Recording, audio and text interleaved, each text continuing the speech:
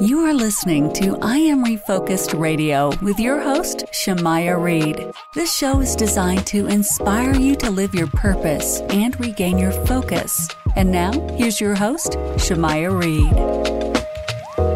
Hey, welcome to I Am Refocused Radio. We're here once again. Today, we have a true honor. We're going to be talking to Bret Baier. He's the chief political anchor of Fox News Channel and also the anchor executive editor of Special Report with Bret Baier.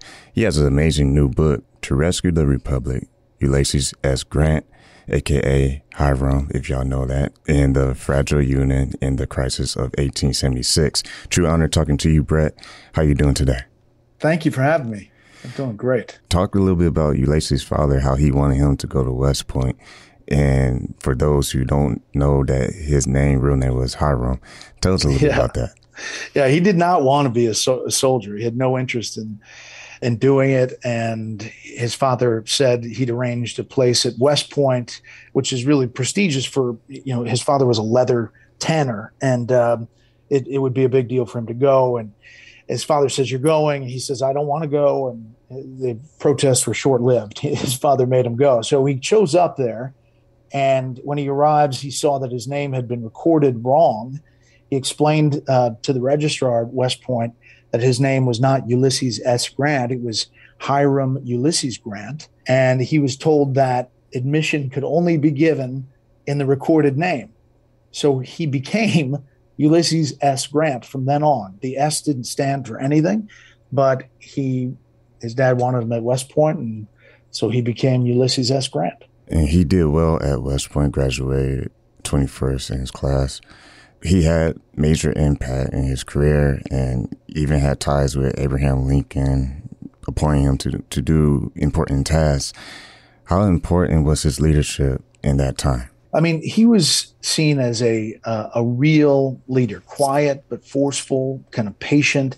He doesn't start off great, but he has um, great horsemanship, and he proves to be a great soldier. He fought in the Mexican American War.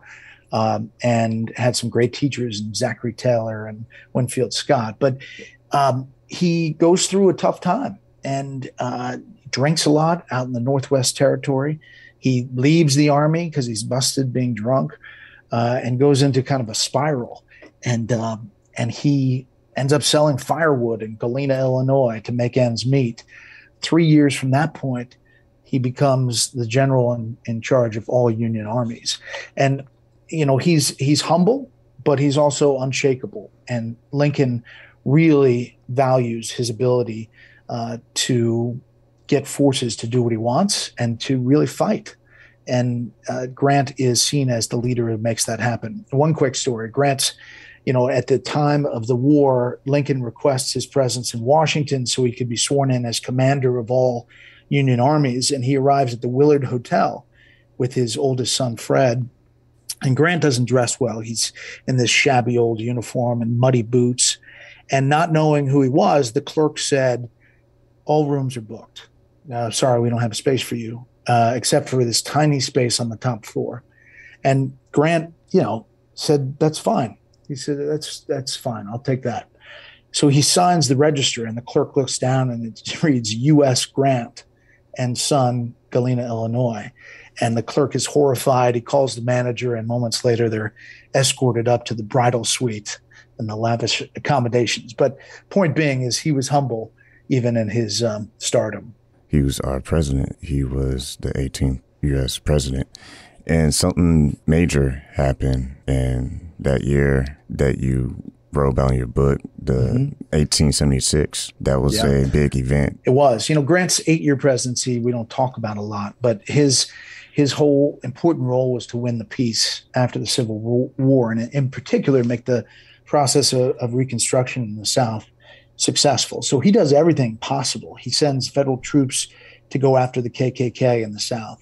Uh, he pushes for the 14th and 15th Amendment uh, citizenship and the right to vote uh, for blacks, um, African Americans serving in Congress, U.S. Senate, um, farming, uh, owning farms. So things are changing uh, in Lincoln's vision, and uh, but the Confederacy and the vestiges of the Civil War are still in the South, and um, Johnson, Andrew Johnson, rolled back some of Lincoln's successes, and Grant's trying to reestablish. And then the 1876 election happens, and it's contested, and Grant's on his way out.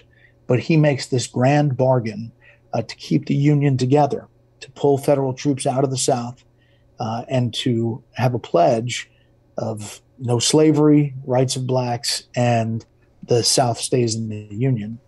Uh, Rutherford B. Hayes becomes president, and he holds the Union together in a time when Grant thought that we could be tilting back to Civil War Part Two.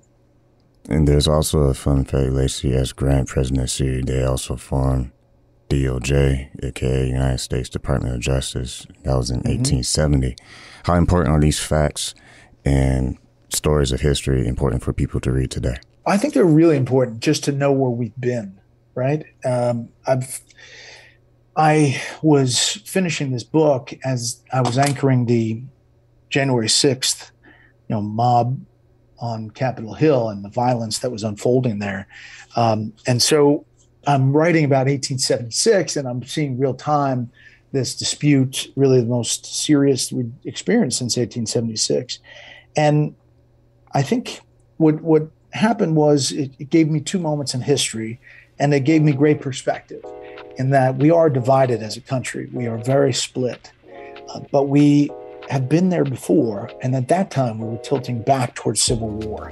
And my, my takeaway from this whole thing is that to keep our republic really requires constant vigilance. You know, our freedoms aren't automatically given, and we've got to keep on digging and keep on pursuing them every election.